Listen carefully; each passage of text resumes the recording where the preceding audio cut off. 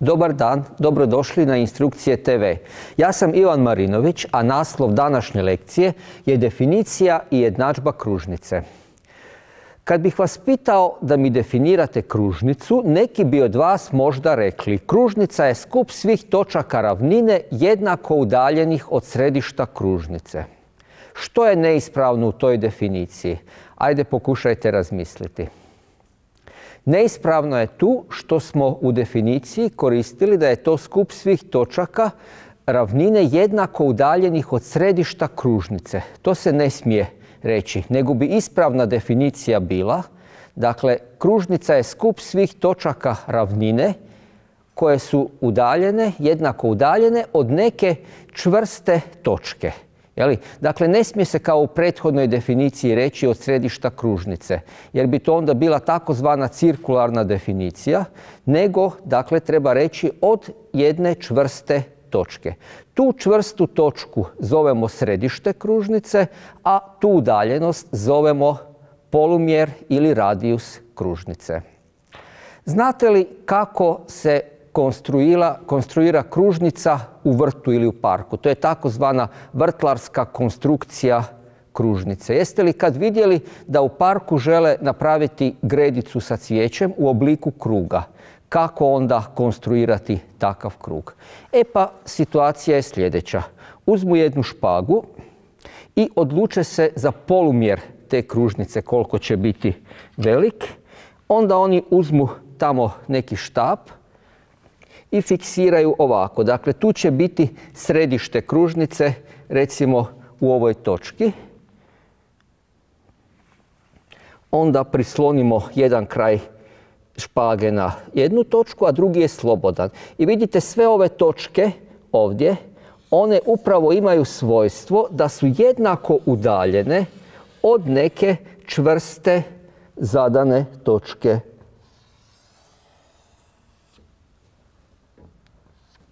Dakle, ovdje je malo neprecizno na kraju, ali kad se to radi, reko u parku, onda to ispadne lijepa kružnica. Dobro, dakle, sad ćemo kružnicu smjestiti u koordinatni sustav. Njeno središte ću obilježiti točkom S, a ovdje ću da crtati neki koordinatni sustav.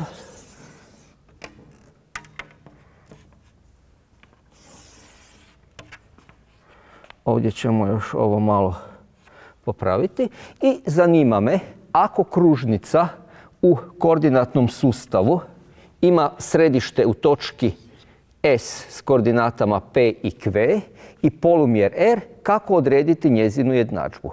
Ovdje ću odabrati neku proizvoljnu točku T s koordinatama X i Y. Dakle, znamo da je svaka točka kružnice po njezinoj definiciji jednako udaljena od te čvrste točke, a ta udaljenost je upravo R. Upravo definicija kružnice će biti način kako ćemo doći do njezine jednadžbe. Dakle, znam da je udaljenost točke S T jednaka R. Podsjetimo se formule za izračunavanje udaljenosti dviju točaka u koordinatnom sustavu. Formula glasi ovako x2 minus x1 na kvadrat plus y2 minus y1 na kvadrat jednako je r. I sad ću tu formulu primijeniti za točke S i T. Imat ću ovakvu situaciju. x minus p u zagradi na kvadrat plus y minus q u zagradi na kvadrat jednako je r. Ako kvadriram ovu jednakost, dobit ću nešto ovako.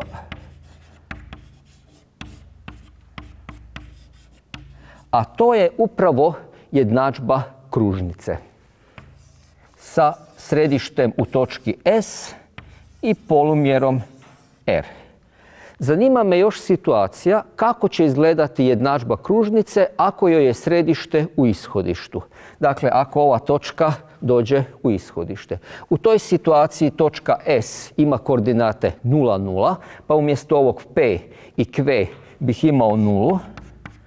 Dakle, x minus 0 na kvadrat plus y minus 0 na kvadrat jednako je r na kvadrat, odnosno x na kvadrat plus y na kvadrat jednako je r na kvadrat. To bi bila jednadžba kružnice sa središtem u ishodištu. Pređimo sad na rješavanje dva primjera. Pređimo sad na rješavanje primjera prvog. Kaže, odredi jednadžbu kružnice sa središtem u točki S 2 minus 6 i polumjerom 3. Podsjetimo se, upravo smo naučili kako glasi jednadžba kružnice. Ja ću je napisati ovdje gore. To je x minus p u zagradi na kvadrat plus y minus q u zagradi na kvadrat jednako je r na kvadrat pri čemu su P i Q koordinate središta, a R polumjer. Dakle, bit će vrlo jednostavno odrediti jednadžbu ove tu kružnice. P je 2, Q je minus 6. I naprosto uvrštavam u ovu jednadžbu. Dakle, x minus 2 u zagradi na kvadrat plus y minus minus 6. To će onda biti y plus 6 u zagradi na kvadrat jednako polumjer je 3, onda će ovdje s desne strane biti 9. Dakle, ovo je jednadžba kružnice koje je središte u točki 2 minus 6. Pod B se traži da odredimo koordinate, to jest jednadžbu kružnice sa središtem u ishodištu polumjera korijen iz 5. To znači da središte ima koordinate 0, 0, pa ćemo umjesto p i q uvrstiti 0, 0, pa ću imati x minus 0 na kvadrat. To je naprosto x na kvadrat plus y na kvadrat, a korijen iz 5 na kvadrat će biti, dakle, polumjer na kvadrat i kad to kvadriram, to ću dobiti 5. Drugi primjer je obrnuta situacija. Kaže, odredi središte i polumjer kružnice ako su tu zadane jednadžbe kružnica. Dakle, sad imamo zadanu jednadžbu i trebamo napisati koje su koordinate središta. To isto neće biti problem na osnovu ovoga što smo naučili. Pogledajte, tu piše x plus 3, a u jednadžbi kružnice je to zapravo x minus p. Pa onda ovo mogu zamisliti kao x minus minus 3, pa bi abscisa središta bila minus 3, a y minus 7, ovdje imam y minus q, onda je taj q zapravo 7. R, kako dobiti njega? Ovaj podatak nam pokazuje koliki je r na kvadrat. r na kvadrat je 64, budući da je r pozitivan, on je samo 8. Dobro, u sljedećoj situaciji je polumjer to jest središte ima koordinate 0 i 2, a r na kvadrat je 12. Odnosno, sam r je korijen iz 12. Kako mogu korijen iz 12 djelomično korijenovati? Zamislim ga kao 4 puta 3 i onda je r 2 korijena iz 3. U ovoj situaciji očito je da imamo kružnicu sa središtem u ishodištu. Dakle, po čemu to vidim? Po tome što iza x-a i iza y ne stoji nikakav broj, x minus nešto, onda je to zapravo x minus 0. Dakle, središte ima koordinate 0, 0, a r na kvadrat je 1,44. Koliki je r? Siguran sam da poznajete broj 144, to je 12 na kvadrat. U ovoj situaciji onda dakle R 1,2. Sljedeća kružnica je zadana ovako. Koordinate njezinog središta su 1 i minus 2. Hm. A koliki je polimjer? Ovdje je zanimljivo. R na kvadrat je 0. Koji broj na kvadrat je nula? Pa jedino nula. To znači da bi polumjer u ovoj situaciji bio nula. Kakva je to kružnica kojoj je polumjer nula? Pa to nije kružnica nego zapravo točka. Dakle, radi se upravo o točki koja ima koordinate 1 minus 2. I ovaj zadnji primjer je još zanimljiviji. Pogledajte, koordinate središta ne bi bio problem očitati, ali s desne strane za r na kvadrat imam da je minus 25. Ne postoji takav realni broj koji čiji je kvadrat negativan, što znači da ovo zapravo nije jednadžba kružnice. Pa ćemo to i napisati. Dakle, nije jednadžba kružnice. Pređimo sad na primjer 3.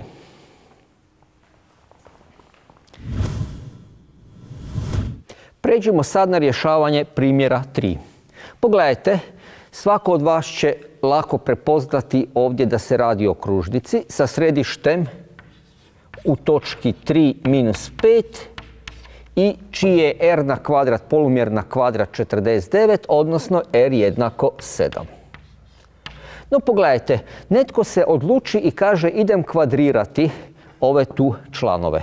Imaću x na kvadrat minus dvostruki prvi puta drugi, 6x plus 9.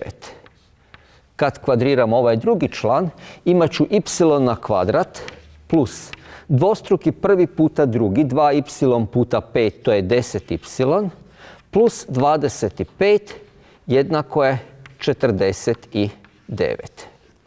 Prebacit ću sve na lijevu stranu i malo posložiti po padajućim potencijama. Što to znači? Da ću prvo pisati x na kvadrat plus y na kvadrat, onda minus 6x plus 10y, onda ću prebaciti na lijevu stranu, dakle 9 minus 49 je minus 40, plus 25 je minus 15.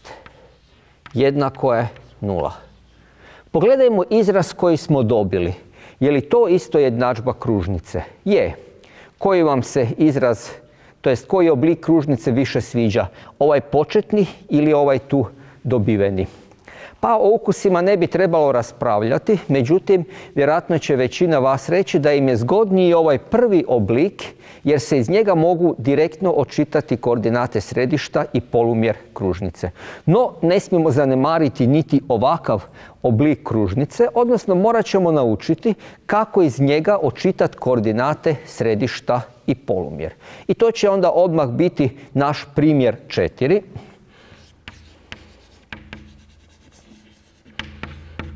Koji kaže odredi koordinate središta i polumjer upravo ove tu zadane kružnice.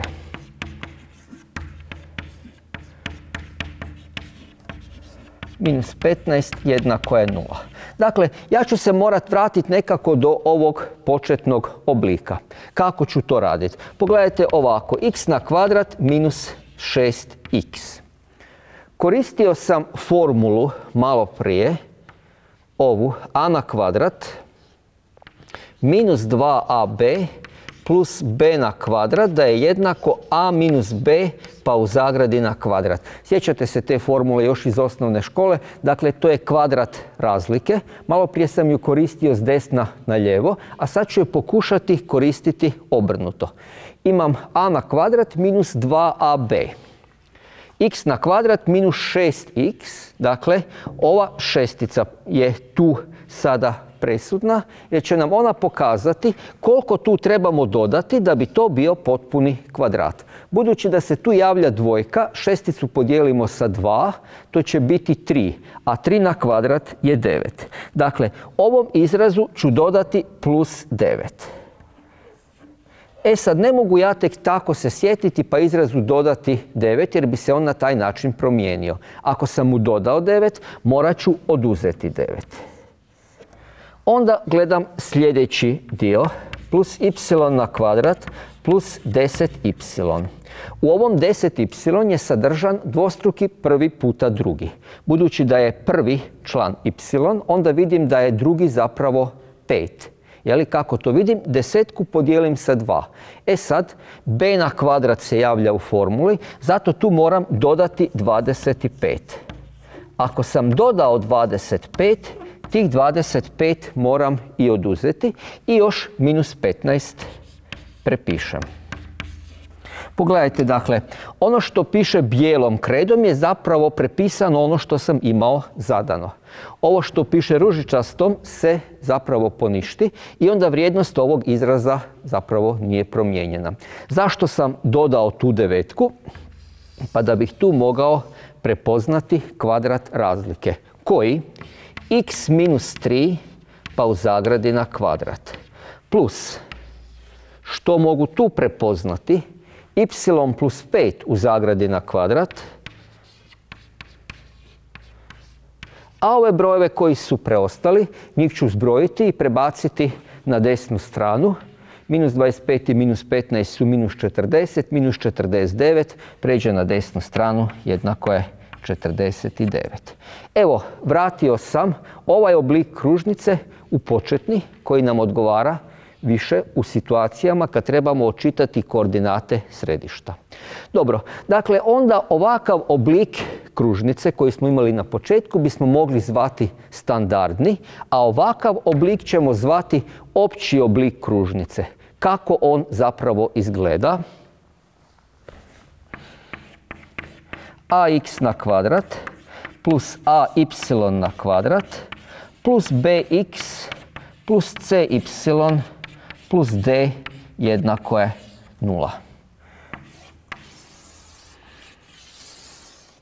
Dakle, e, koeficijenti uz x na kvadrat i y na kvadrat moraju biti jednaki, pa ćemo u najgorem, najgorem situaciji to podijeliti lijevu i desnu stranu sa a i onda ćemo vršiti ovaj postupak. Ovaj postupak se zove nadopunjavanje do potpunog kvadrata. Time smo završili teoretski uvod. Gledajte nas i u našim emisijama gdje ćemo rješavati zadatke sa zadavanjem kružnice. Krenimo rješavati zadatke iz cijeline definicije jednadžba kružnice. Prvi zadatak glasi ovako. Nacrtaj kružnicu x plus 1 na kvadrat plus y minus 2 na kvadrat jednako je 5 i provjeri koje od točaka a 0, 0, b 2 minus 1 i c minus 3, 3 leže na toj kružnici. Pa naučili smo kako glasi jednadžba kružnice u uvodnom dijelu. Dakle, središte ima koordinate minus 1 i 2. A za polumjer vrijedi da je r na kvadrat jednako 5. Što će to značiti? Da je r zapravo korijen iz 5. Kako bismo onda nacrtali kružnicu? Pa koordinate središta nam kazuju da će središte biti dakle u drugom kvadrantu, a polumjer je korijen iz 5.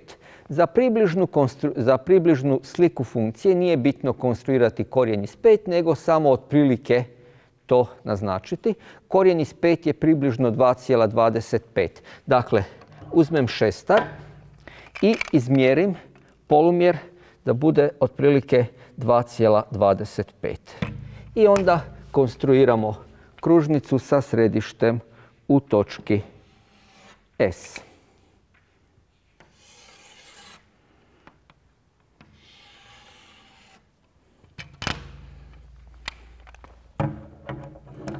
No, ostatak zadatka kaže provjeri leže li ove točke na kružnici. Je li možemo to provjeriti grafički? Izgleda mi da točka A 0,0 leži na kružnici, no slika ne može biti uvijek vjerodostojna i može se dogoditi da je točka vrlo blizu, a da zapravo ne leži na kružnici. Zato je to najbolje provjeriti računski. Kako provjeriti leži li neka točka na kružnici? Pa po istom principu kao što smo provjeravali leži li to neka točka na nekom pravcu. Sjećate se kako se to radi. Da bi točka ležala na pravcu ili kružnici, koordinate te točke moraju zadovoljavati jednadžbu kružnice odnosno pravca kad smo to radili tamo. Dakle, koordinate ovih tu točaka ćemo naprosto uvrstiti u jednadžbu kružnice. Dakle, 0, 0 uvrštavam umjesto x i y. To ću imati 1 na kvadrat plus minus 2 na kvadrat jednako je 5. Dakle, još jednom, ovo je bio x, ovo je bio y i to sam uvrstio u jednadžbu kružnice. 1 na kvadrat je 1, minus 2 na kvadrat je 4. 1 plus 4 je 5. 5 je jednako 5, to znači, to mogu ovako zapisati, a leži na kružnici. A je element kružnice. Leži li točka B 2 minus 1, pa to već ovdje sa slike vidimo da zapravo nije, ali ajmo baš uvrstiti i vidjeti kako će se to manifestirati u računu. Umjesto x ću uvrstiti 2, umjesto y minus 1. 2 plus 1 je 3, na kvadrat je 9, plus minus 1 minus 2 je minus 3, na kvadrat je također 9. To nikako nije 5 i tu činjenicu zapisujem na ovaj način da točka B nije na kružnici. I sad točka C minus 3, 3. Pogledajmo kako nam izgleda, jel to leži ili ne, pa nekako bi i moglo biti. Ajmo računski to provjeriti. Minus 3 plus 1 je minus 2 na kvadrat. I 3 minus 2, to je 1 na kvadrat. Pitam se jel to je 5, 4 plus 1 je 5. Dakle, točka C se nalazi na kružnici. Evo nas kod drugog zadatka. Tek zadatka klasi odredi jednadžbe kružnica sa slike.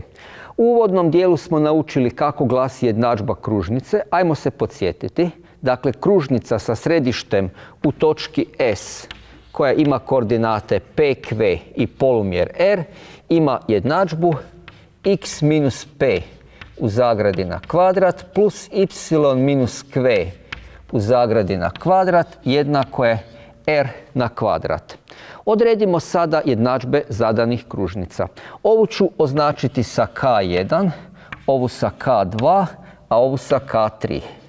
Dakle, vidim da bih odredio jednadžbu kružnice, trebam imati koordinate njezinih središta i njihove polumjere. To ću očitati sa slike.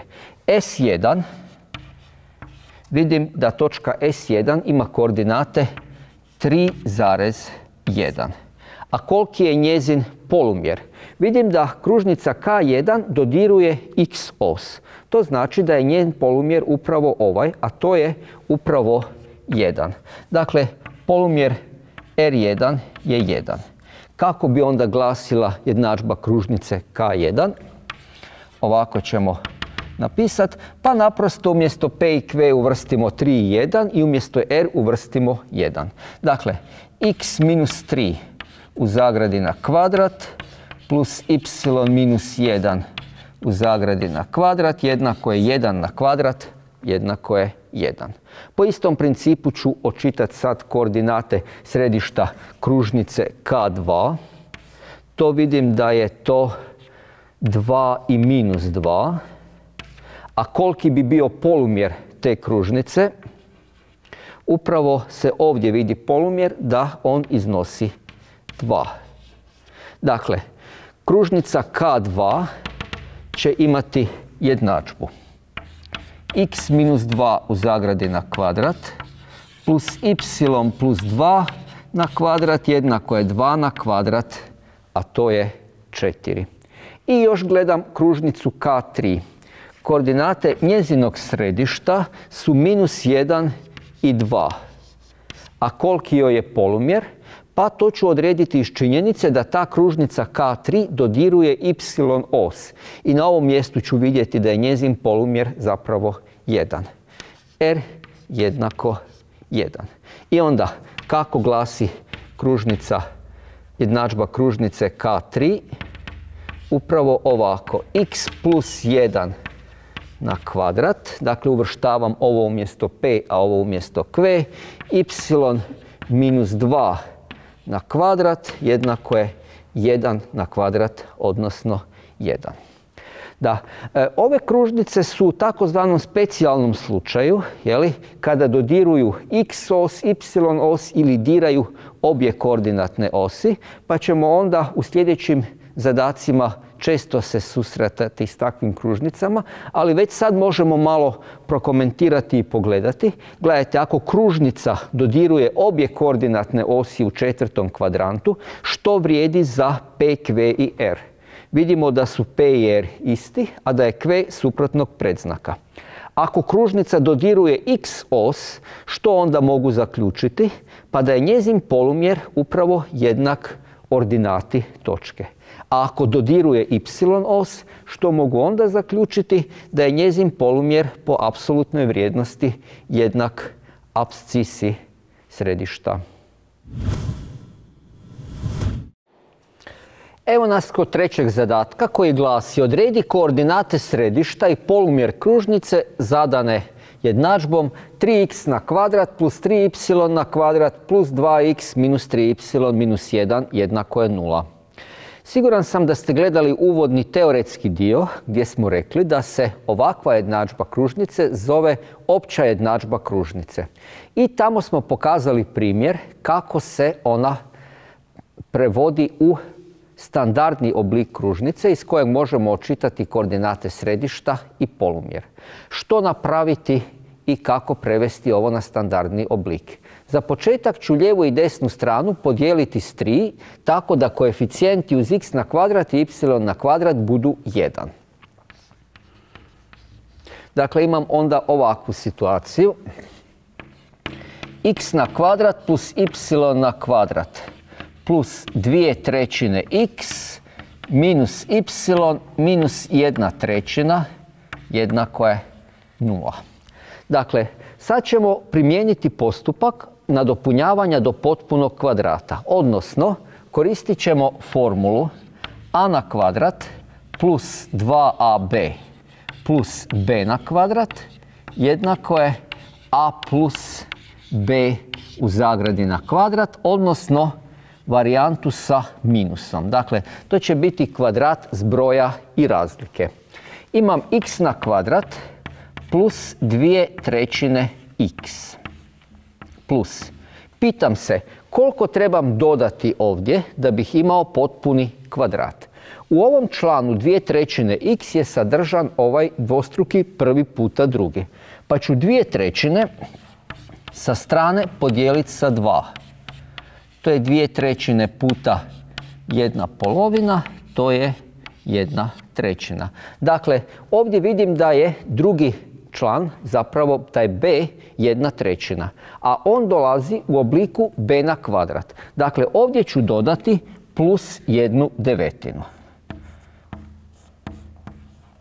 Ako sam dodao jednu devetinu, nju moram i oduzeti da se originalna jednakost ne bi promijenila. Onda nastavljam dalje. Plus y na kvadrat minus y. Opet gledam, koeficijent uz y je 1. Dakle, njega ću podijeliti sa 2. To nije niš drugo nego jedna polovina. I onda ponovno moram dodati b na kvadrat. Dakle, dodat ću jedna polovina na kvadrat je plus jedna četvrtina minus jedna četvrtina i minus jedna trećina jednako je nula. Evo ga, dakle, ovo je taj postupak nadopunjavanja do potpunog kvadrata. Ovdje ću prepoznati x plus jedna trećina u zagrada, zagradi na kvadrat. Plus, a ovdje y minus jedna polovina u zagradi na kvadrat. A što mi je preostalo? Ova minus jedna devetina, minus jedna četvrtina i minus jedna trećina. To ću prebaciti na desnu stranu i zbrojiti.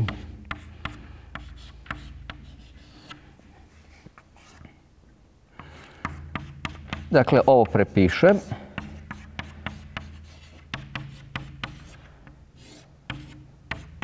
Najmanji zajednički za 9, 4 i 3 je 36.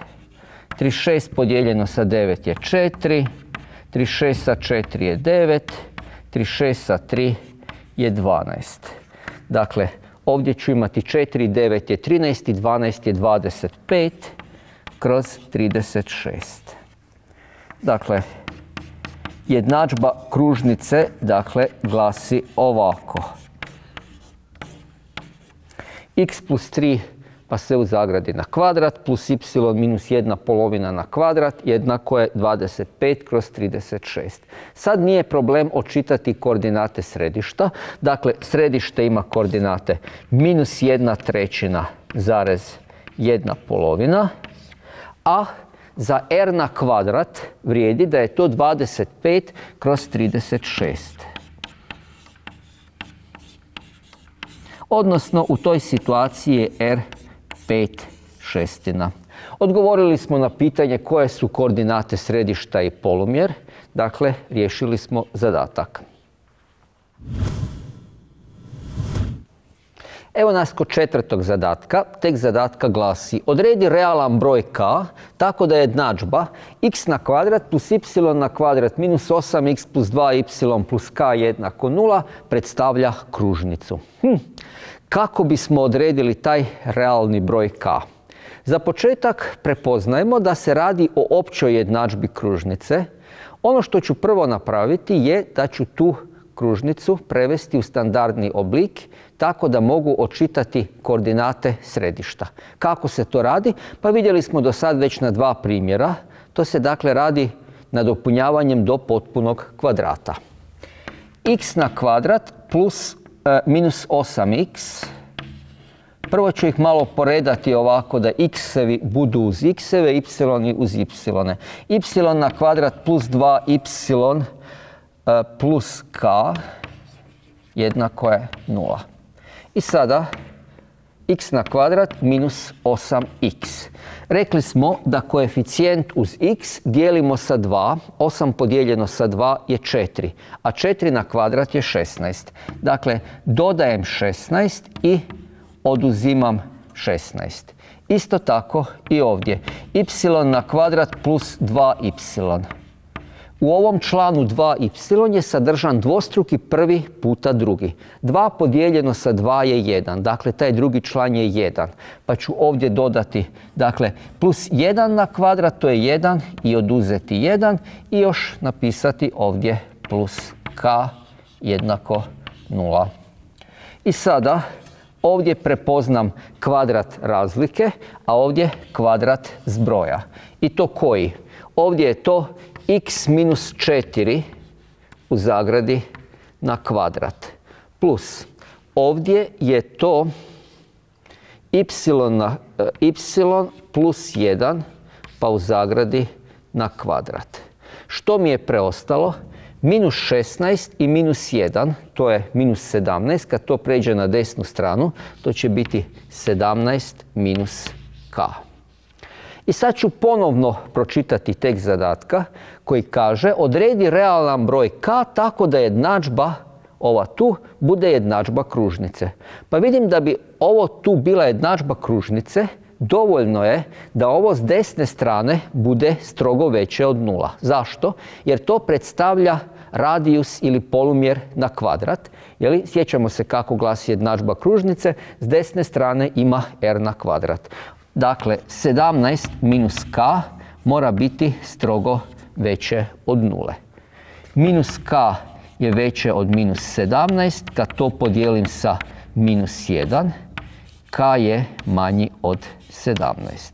Dakle, da bi ova jednadžba predstavljala jednadžbu kružnice, k mora biti manji, bilo koji realni broj koji je manji od 17. Evo nas kod petog zadatka koji glasi Napiši jednadžbu kružnice sa središtem u točki S, PQ i polumjerom R jednako 3 koja pod A ima središte na negativnom dijelu osi X i dira os Y. Kako bismo to riješili? Tu bi najbolje bilo skicirati prvo jednu takvu kružnicu. Dakle, tražimo kružnicu koja ima polumjer 3. Otvorit ću šestar da bude 3. E sad, ima središte na negativnom dijelu x osi, a dodiruje os y. Kako bi izgledala ta kružnica? Dakle, očito će onda središte biti ovdje u točki s koordinatama minus 3 i 0. Jer je polumjer jednak 3. Dakle, središte ima koordinate minus 3 i 0, polumjer R jednako je 3. Kako glasi općenito jednadžba kružnice, to smo naučili već u uvodnom dijelu. Sjećate se, x minus p u zagradi na kvadrat plus y minus q u zagradi na kvadrat jednako je r na kvadrat, gdje su p i q koordinate središta, a r je polumjer. U našoj situaciji je to dakle x plus 3 u zagradi na kvadrat, q je nula, pa je to y minus nula u zagradi na kvadrat, a to je naprosto y na kvadrat, jednako je 3 na kvadrat 9. Dobro, sličan je i B zadatak, samo kaže da kružnica ima središte na pozitivnom dijelu osi y i dira os x. Dakle, polumjer je i dalje 3. Ajmo skicirati malo kako bi to izgledalo. E sad, s obzirom da dodiruje os x, to znači da će središte biti u točki 0,3. Kako bi izgledala ta kružnica? Upravo ovako nekako.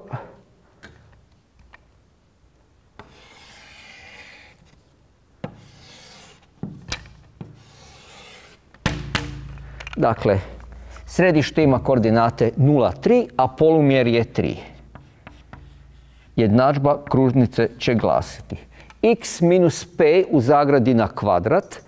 P je kod nas 0, pa je to naprosto x na kvadrat. Plus y minus 3 na kvadrat jednako je 3 na kvadrat 9. Time smo riješili peti zadatak.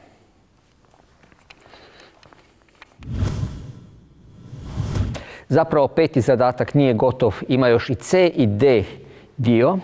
C zadatak kaže ima središte u prvom kvadrantu i dira koordinatne osi. Dakle, polumjer i dalje iznosi 3. To je ova situacija, dakle, Kružnica ima središte u prvom kvadrantu, polumjer joj je 3, a dira obje koordinatne osi. Da bi se to ostvarilo, središte kružnice vidimo da mora biti upravo u točki 3,3. A koliki mora, mora biti polumjer? Pa isto mora biti jednak 3. Dakle, R jednako je 3. Kako glasi jednadžba kružnice? x minus 3 u zagradi na kvadrat plus y minus 3 u zagradi na kvadrat jednako je 9. Zašto 9? Jer je polumjer 3. I još D slučaj, ista stvar dira obje koordinatne osi, a ima središte u drugom kvadrantu. Koje su koordinate središta onda? Očito minus 3 i 3, a polumjer je i dalje 3 i kako glasi onda jednadžba kružnice x plus 3 u zagradi na kvadrat plus y minus 3 u zagradi na kvadrat jednako je 9. Time smo sad zbilja riješili peti zadatak. Šesti zadatak. Napiši jednadžbu kružnice koja dira obje koordinatne osi i prolazi točkom s koordinatama t, 8, 4. Skicirali smo situaciju, dakle tražimo kružnicu koja dira obje koordinatne osi i prolazi ovom tu točkom. E, općenito jednadžba kružnice glasi x minus p na kvadrat plus y minus q na kvadrat jednako je r na kvadrat. Pri čemu su p, q, p i q koordinate središta, a r je polumjer. E sad, kad kružnica dira obje koordinatne osi, ona je u vrlo specijalnoj situaciji Jeli? Odnosno postoji neka veza između koordinata središta i polumjera. Dakle, pogledajmo, ovdje bismo skoro sa slike mogli očitati, ali to nije regularan način rješavanja jer slika skica može biti pogrešna. Dakle, ako S ima koordinate P i Q, očito će onda postojati veza između P, Q i R sljedeća, da je P jednako Q jednako polumjeru R. Zašto?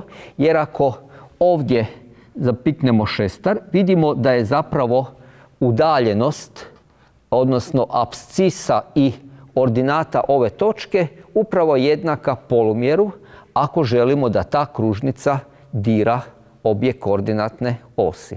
Dakle, umjesto P, Q i R možemo svugdje staviti, na primjer, R. A kako ćemo iskoristiti činjenicu da točka T leži na kružnici? Pa slično kao i kod pravca i točke, ako neka točka leži na nekom pravcu, onda njezine koordinate smijemo uvrstiti u jednadžbu pravca. Dakle, imamo ovakvu situaciju. 8 minus r u zagradi na kvadrat plus 4 minus r u zagradi na kvadrat jednako je r na kvadrat. Što sam napravio? P i Q sam zamijenio sa R. Zašto sam to smio napraviti? Jer smo rekli da ako kružnica dodiruje obje koordinatne osi i ako joj je središte u prvom kvadrantu, onda mora postojati ovakva veza među koordinatama središta i polumjer. A zašto sam smio uvrstiti ovu točku u jednadžbu kružnice? Jer ona upravo leži na kružnici. No preostaje mi sada riješiti ovu jednadžbu. 8 na kvadrat je 64. 2 put 8 je 16. Dakle, dvostruki prvi puta drugi plus drugi na kvadrat. Plus 4 na kvadrat je 16 dvostruki prvi puta drugi, 2 put 4, to je minus 8r, plus r na kvadrat, jednako je r na kvadrat. Ovaj r na kvadrat i ovaj će se tu poništiti i dobit ću ovakvu kvadratnu jednadžbu, r na kvadrat. 16r minus 8r je minus 24r, a 64 plus 16 je 80. Jednako je 0. Dakle, trebam sad riješiti kvadratnu jednadžbu. R12 je 24 plus minus korijen iz 24 na kvadrat je 576 minus 4ac, dakle tako glasi formula, je 4 puta 8 je 32, to je 320 kroz 2a, to je 2. R1, 2. 24 plus minus 576 minus 320, to je 256. Kroz 2, odnosno R1, 2 je 24, korijen iz 256 je 16 kroz 2. I onda imam dakle dvije mogućnosti. R1 je 24 plus 16, to je 40 kroz 2 je 20. A R2 je 24 minus 16 je 8 kroz 2 je 4. Dakle, dobio sam da polumjer te, tih traženih kružnica je 4 i 20. Pa sam malo iznenađen otkud to da postoje dva rješenja. Ovo prvo rješenje smo mogli i sa slike očitati i zbilja je polumjer toga 4 a gdje je druga kružnica koja je polumjer 20. E pa nju ne vidim na slici, ona je jedna ogromna kružnica, dakle to bi ona prolazila ovdje ovako, središte bi joj bilo 20 i 20, jeli? Dakle, rekli bismo, matematika te nikad neće iznevjeriti. Ti tražiš jednu kružnicu, ona ti da dvije, jel tako? Što bi se dogodilo da je jedno od ovih rješenja negativno? To ne bismo mogli prihvatiti jer polumjer kružnice ne može biti negativan. Dakle, dobili smo dvije kružnice. Prva, K1. E, podsjetimo se da ako kružnica dira obje koordinatne osi, da su koordinate središta jednake polumjeru. Dakle, prva kružnica će glasiti x minus 4 u zagradi na kvadrat plus y minus 4 u zagradi na kvadrat jednako je 16. To je ova prva kružnica koju smo ovdje nacrtali. A druga, ona ogromna o kojoj smo pričali, će imati jednadžbu x minus 20 na kvadrat plus y minus 20 na kvadrat. 20 na kvadrat je 400. Sedmi zadatak glasi, napiši jednadžbu kružnice koja dira os x, prolazi točkom t minus 2 minus 2 i ima polumjer r jednako 5. Tu sam otprilike skicirao kružnicu koja se traži. Dakle, očito će imati središte u trećem kvadrantu, tako pretpostavljam, i kaže ima polumjer R jednako 5. No ona je u specijalnom, u specijalnom položaju jer dodiruje os x. Što će to značiti? Ako su koordinate središta P i Q, s obzirom da je polumjer jednak 5, to će značiti da će Q zapravo biti minus 5. Jel tako? Dakle, to mogu iščitati iz činjenice da je polumjer kružnice R jednak 5 i da dodiruje os x. Dakle, kako glasi općenito jednadžba kružnice? x minus p u zagradi na kvadrat plus y minus q u zagradi na kvadrat jednako je r na kvadrat. Koje podatke do sada imam? Imam polumjer, imam kve, imam jednu točku koja se nalazi na kružnici. Kako iskoristiti činjenicu da točka leži na kružnici? Pa koordinate te točke možemo uvrstiti u jednadžbu kružnice. Dakle, ovo će biti x, ovo će biti y. I sad imam ovakvu situaciju. Minus 2 minus p u zagradi na kvadrat plus y je minus 2 minus kve će biti plus 5, pa u zagradi na kvadrat, jednako r nam je 5. Dakle, pa je to 25. Tu sam dobio jednu jednadžbu s jednom nepoznanicom. Minus 2 minus p, pa sve u zagradi na kvadrat, smijem zapisati na ovaj način. 2 plus p, pa u zagradi na kvadrat. Zašto? Podsjetimo se jedne stvari iz prvog razreda srednje škole. Kad smo imali ovakvu situaciju minus a minus b pa u zagradi na kvadrat, onda unutar zagrade mogu izlučiti minus. Pa ću dobiti a plus b pa sve u zagradi na kvadrat. Što će kvadrat napraviti ovom minusu? Poništit će ga, pa je to onda naprosto a plus b pa sve u zagradi na kvadrat. Dakle, kada su dva minusa, onda će taj minus nestati zbog kvadrata. Plus, minus 2 plus 5 je 3 na kvadrat, jednako je 9. I to je jednako 25. Ovo bih mogao kvadrirati i dobiti onda klasičnu kvadratnu jednadžbu, no ja ću umjesto toga devetku prebaciti na desnu stranu i dobiti 16.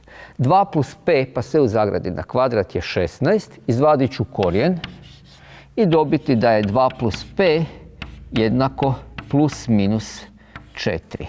Dakle, u prvoj situaciji je 2 plus p jednak 4, a u drugoj 2 plus p je minus 4.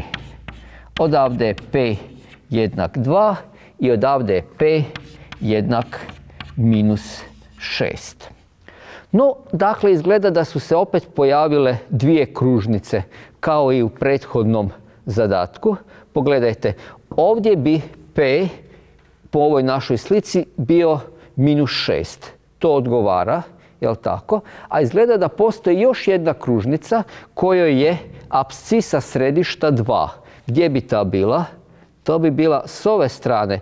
Očito onda postoji još jedna kružnica, evo ja ću je otprilike ovako skicirati, koja ima središte u četvrtom kvadrantu i dodiruje os x i prolazi traženom točkom t. Dakle, ne trebamo brinuti, ako postoji više rješenja, one će se pojaviti kroz račun. Dakle, dobili smo dvije kružnice. Kružnica prva, to će biti x minus 2 u zagradi na kvadrat. Rekli smo da je kv minus 5, pa je to y plus 5 u zagradi na kvadrat. Polumjer je bio već zadan na početku, pa je to 25. A kako će glasiti jednadžba kružnice K2? Pa slično, dakle x plus 6 u zagradi na kvadrat. Dakle, razlikovat će se samo u abscisi središta. Plus y plus 5 na kvadrat jednako je 25. Time smo riješili sedmi zadatak. Osmi zadatak glasi, napiši jednadžbu kružnice koja dira pravce x jednako je minus 3 i y jednako 5 i ima središte na osi y. Za početak bismo skicirali ove pravce. Kako izgleda pravac x jednako je minus 3. Dakle, kod tog pravca sve točke koje leže na njemu imaju apsisu jednaku minus 3. Taj pravac je očito paralelan sa osi y.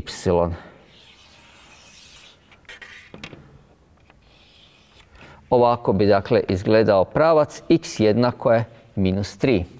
Kako izgleda pravac y jednako 5?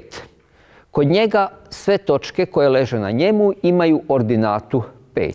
Pa će taj pravac biti paralelan s x osi. Dakle, proći će ovdje kroz peticu na y osi y jednako 5.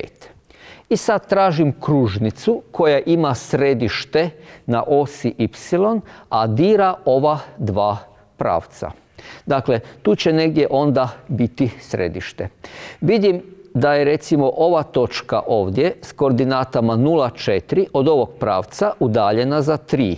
Ako bi središte bilo ovdje, onda ne bi bilo dobro jer bi ta kružnica presjekla ovaj pravac. Dakle, očito je da moram polumjer imati upravo 3, s obzirom da je od y osi pravac x jednako minus 3 udaljen za 3.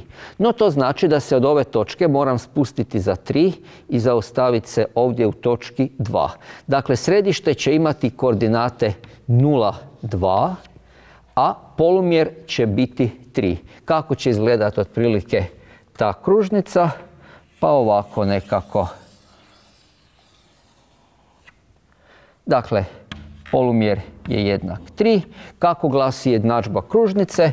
Općenito x minus p u zagradi na kvadrat plus y minus q u zagradi na kvadrat jednako je r na kvadrat. U našoj situaciji je p 0, pa je to x na kvadrat plus y minus 2 na kvadrat, to je q, a polumjer je 3, dakle 3 na kvadrat je 9.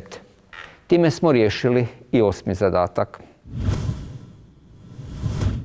Deveti zadatak. Odredi jednadžbu kružnice koja je koncentrična kružnici x na kvadrat plus y na kvadrat minus 4x plus 6y minus 1 jednako 0 i koja dira pravac y je minus 2 trećine x plus 1. Dakle, imamo nekako ovakvu situaciju. To je neka početna kružnica K1 zadana u općem obliku i neki pravac kojeg ću označiti sa P. Tražim koncentričnu kružnicu. Kad kažemo za kružnice da su koncentrične, dok se sigurno sjećate već iz osnovne škole, kružnice su koncentrične ako imaju isto središte. Drugim riječima, prvo bih trebao odrediti koordinate središta ove kružnice. Kako se iz općeg oblika mogu odrediti koordinate središta? Sjećate se, to smo imali već više puta, postupkom nadopunjavanja do potpunog kvadrata. Dakle, nadopunimo ovu kružnicu do potpunog kvadrata i očitajmo njezine koordinate središta, jer će to središte onda imati i naša tražena kružnica x na kvadrat minus 4x. Ovdje ću nadopuniti do potpunog kvadrata. Sjećate se postupka. Četvorku dijelim sa 2. 4 podijeljeno sa 2 je 2. 2 na kvadrat je 4. Dakle, dodajem 4 i oduzimam 4. Plus y na kvadrat plus 6y. Ovu šesticu dijelim sa 2, to je 3 i dodajem 3 na kvadrat, to je 9. Dakle, plus 9 i minus 9. I još ovdje imam minus jedinicu. Ovdje dakle prepoznam da je to zapravo x minus 2 pa sve u zagradi na kvadrat. Plus ovo je y plus 3 u zagradi na kvadrat. A što mi je preostalo? Minus 9 i minus 1, to je minus 10 i ovih minus 4, to je 14. Dakle, početna kružnica ima koordinate 2 i minus 3. Koliki joj je polumjer? Upravo r na kvadrat je 14, dakle r je korijen iz 14. E sad, kako bi onda izgledala ta naša tražena kružnica K2? Rekli smo kružnice su koncentrične ako imaju isto središte. Pa ta kružnica bi također ovdje imala središte i dodirivala bi ovaj pravac. Ja ću je ovako samo otprilike skicirati. Dakle, koordinate središta već imamo, a kako dobiti polumjer te tražene kružnice K2? Pa vidim ovdje da je taj polumjer zapravo što? Kakva veza postoji između središta i ovog tu pravca i polumjera? Polumjer je upravo udaljenost točke S do pravca P. Dakle, izračunam li tu udaljenost, imat ću polumjer tražene kružnice K2. Kako izračunati udaljenost točke od pravca? To smo radili u prethodnom poglavlju kod pravca. Sjećate se udaljenost točke od pravca. Formula je glasila ovako. Dakle, udaljenost točke od pravca je ax1 plus by1 plus c kroz korijen iz a na kvadrat plus b na kvadrat. Pri tome je pravac p bio zadan u implicitnom obliku ax plus by plus c jednako je nula, a točka t čiju smo udaljenost tražili od pravca ima koordinate x1 y1. Naš pravac ovdje je zadan u eksplicitnom obliku. Dakle, što ćemo prvo napraviti? Pretvorit ćemo ga u implicitni oblik i onda ćemo naći udaljenost točke S do pravca, a to će biti onda naš polumjer. Dakle, pretvorimo ovo sada u implicitni oblik. Kako? Tako što ćemo, dakle ovu formulu ću tu uokviriti, naknadno ću je trebati.